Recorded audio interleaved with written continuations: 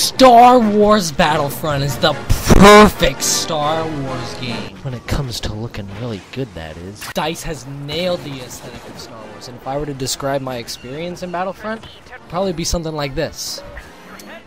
Or, uh, or something like this. Or something like this, where I'm taking in the scenery, oh my god, this looks gorgeous, and then this idiot flies around the corner, and as usual, DICE and EA have decided to focus on the graphics and the look of Battlefront, I mean Battlefront, instead of fine-tuning the way the game works. Now, don't get me wrong, the gameplay is incredible. It's so much fun to run around and gun down the other soldiers with precision and ease flowing from one kill to the other, and then something like this kills you.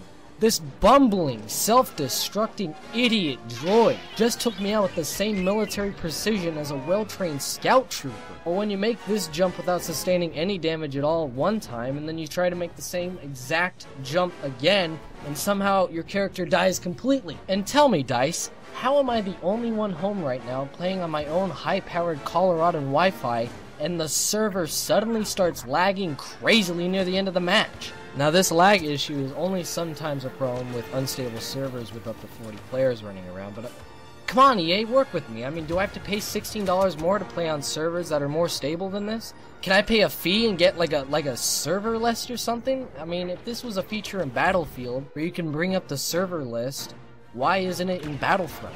I mean, what do you expect me to do? Play in, offline in the AI missions mode? Yeah, right. Alright, Dunkey, I'm sorry, but I gotta call you out on this. My 10 hours of playing this game, I have yet to play as a single one of the heroes. Meanwhile, I'm over here getting a hero pickup like once every three matches. The hero pickups are pretty random and well hidden, but any active player that's storming the front lines and covering as much ground as possible is bound to find one.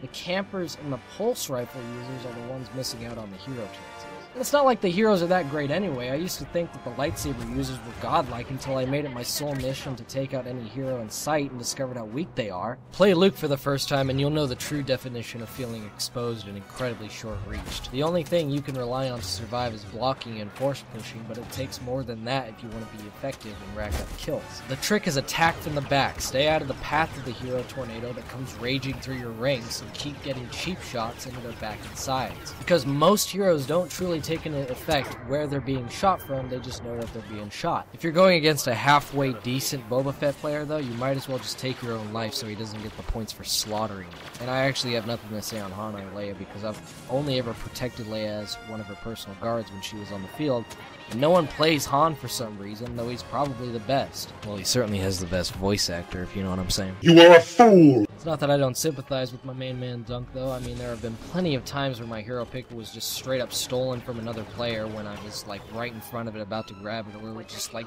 disappear as I'm looking at it. But you don't need to be Han Solo or Boba Fett to feel like a badass. Pulling off a successful run and gun kill streak in this game lets you achieve some sort of, like, next level euphoria. It's this constant stream of controlled chaos that's so, so addicting, and it keeps you playing. It's like a drug. You can't wait to get another five second fix of adrenaline pump badass. And thank God there's little to no downtime. I mean, you jump into matches just like that. It's not like Battlefield where I die and I'm staring at a menu for 17 seconds before my timer is up and I can jump back into the action for a couple of seconds before I get sniped by somebody across the map and I'm back to looking at that blue screen again. In this game, when you die, you're very briefly taken back to the blaster and respawn selection screen.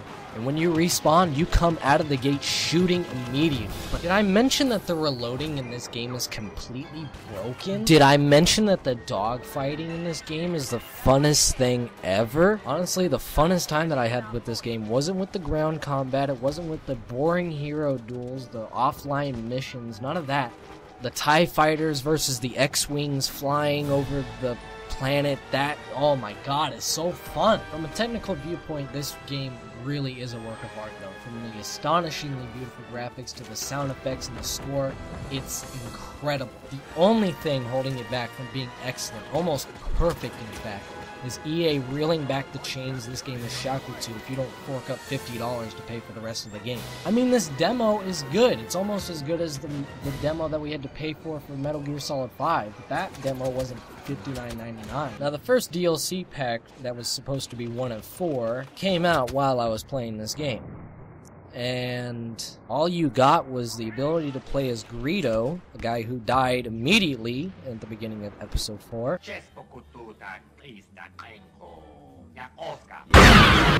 Or you could play as the fish guy who happened to sit next to Lando on the Millennium Falcon while they were attacking the second Death Star, who said a couple of lines of dialogue and a couple of maps on the planets that we already had.